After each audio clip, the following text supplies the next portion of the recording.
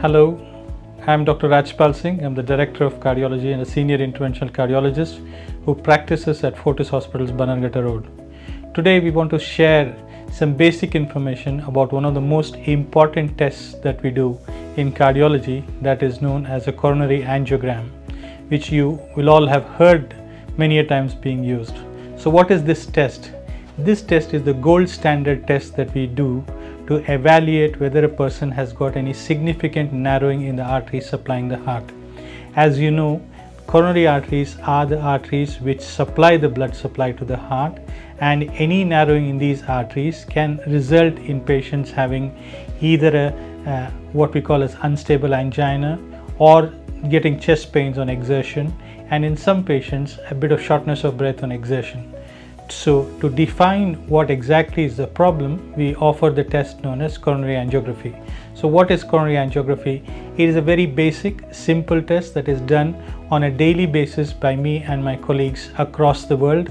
This is the gold standard test for evaluating the coronary arteries. How do we do it? In a vast majority of the patients, we put a little tube into the top of the wrist through an artery known as the radial artery this is by far the most common way of doing uh, coronary angiography in this current age and uh, time. By doing so, we are able to minimize the risks to the patient. We can ensure that they can be mobilized early as well as we can ensure that these cases are done on a daycare basis, i.e. the patient comes in the morning, has the angiogram and is able to go home in the afternoon. So what do we do? We give you a little local anesthetic after having done some basic tests and patient is fully conscious in most cases when we do coronary angiography. In some patients who are very anxious, we might give a mild sedative to calm their nerves down.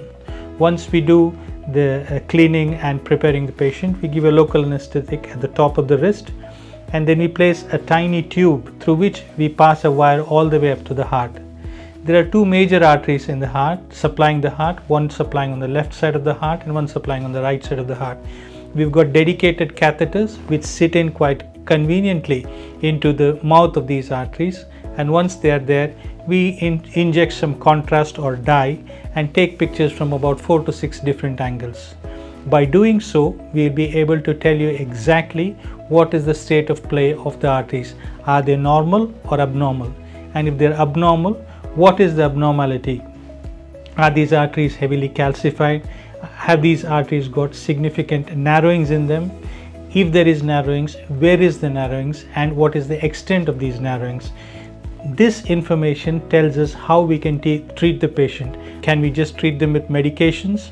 Or in addition to good medications and lifestyle changes do we need to put stent across these arteries and open these arteries up or in some cases if the narrowings are quite extensive then we might even recommend that in addition to medications that the patient goes through for a bypass surgery. This test usually takes about 5 minutes for us to do. It's a day case procedure. The patient comes in the morning after having had a light uh, breakfast or something to drink. We do the procedure within about an hour's time the patient is ready to go home. So this is what coronary angiography is. It is not without risks, but it is a very low risk procedure. What are the risks? Maybe a, uh, in a person who's not too elderly, the risk of any serious complications is about 1 in a thousand. In someone who is elderly, the risk might be about 1 in 600. 999 out of a thousand or 599 out of 600 patients go home without any major issues and even if there are issues these are something that can be addressed in vast majority of patients quite comfortably. I hope this information has been quite useful to you and puts your mind at rest when you think about having an angiogram or have the need for any of your family members to have a coronary angiogram.